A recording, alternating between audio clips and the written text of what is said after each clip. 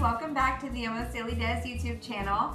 I have Lu with me and we're going to make another fun for kids recipe. The first one we made was the St. Patty's Trail Mix and today we're making Taco dippers. taco dippers. So what we have here is some of the Pillsbury pizza dough that we have taken a pizza cutter and cut into smaller rectangles. So taco dippers are a taco inside of the dough. All right, so inside of our smaller pizza dough, I have pre-cooked some ground beef with taco seasoning. So that's been cooked since yesterday. And then I'm going to, I'm going to put the ground beef in and then I'm going to allow Lunabelle to sprinkle some cheese on top. And then once we get them all rolled up, we have melted some butter with some taco seasoning in there and we're gonna use that to brush on top. You ready? Yeah. Okay. All right, so what I'm gonna do, Lu, Pour this in there and then I can pour the cheese in and then we can put the taco seasoning on. Yes, thank you. okay, Uh, I think she knows what we're doing. So I'm trying to stay away from these edges a little bit because we're gonna have to tuck those in. So I'm just putting like a little log in the center. and And now can you sprinkle some of this cheddar cheese on here? and the kids can probably eat some cheese while you're doing Oh, it. the kids can eat some cheese while you're doing it. Just make sure you have some extra. Now can you please sprinkle some on top? We actually also like the shredded like taco blend cheese and that usually has a little bit of taco seasoning in there too. Good, Lu. So I'm gonna keep going with this and we will come back when it is time to roll. All right, so I'm just gonna start rolling. You can see that these are all done. So I just wanted to show you my process. So you kind of take this side and fold it forward and kind of start to tuck it under the meat and cheese a little bit. And then take your sides and fold them in. I always get stressed about this, which is why I'm showing. I always feel like I'm doing it wrong. And then just keep rolling it until you see your seam. Make sure your seams are all tucked nicely.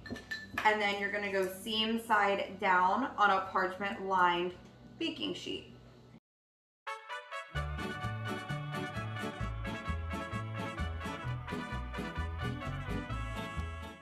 So now I'm gonna take the butter.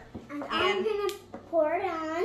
We're not gonna pour it, we're gonna brush the top. So can I show you first? Yes. Okay, Yes, Mother? so get it on the brush. Look, swipe it like this so it's not too drippy. Uh, okay. And just no. kind of just paint the top like that, okay? It's just gonna give a little more color to the top and a little more flavor. Okay. So dip it in, brush it on the side, Okay. and then go ahead, No, paint no, the top of that one. It's like painting, Yep, watch your sleeve. but different. like painting, but different.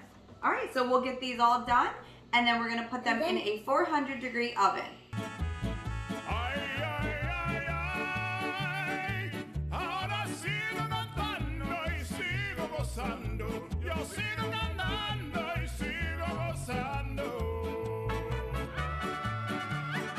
15 minutes later, your taco dippers will be done.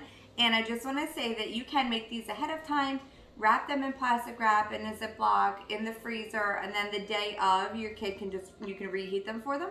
So these are like something that you can make a bunch of and save for later. And you're just gonna serve them with whatever your child likes to dip their taco in. So what do you like to dip your tacos in? Sour cream, Sour cream, not taco sauce. not taco sauce. Of your kids a? What about salsa? No, I have to. Some kids can like uh, pick their favorite sauce to have.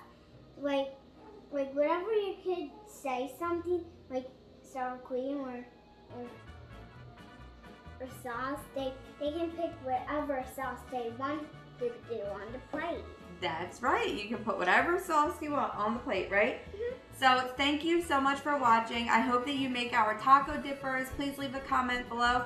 Don't forget to subscribe and follow me on Instagram.